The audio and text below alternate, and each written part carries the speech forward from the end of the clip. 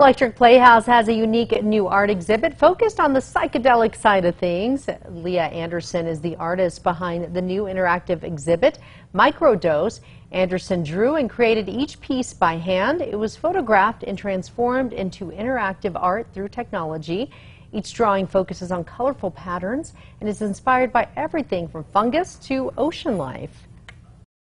I want my work to feel like it has lifelike qualities or could even possibly be alive. And so for it to be moving and melting and transforming and growing is really, it's kind of like the work itself has come alive all around me. There will be drinks inspired by the artwork. The new show opens tomorrow at 6. Find a link for more information at alwaysonkRQE.com.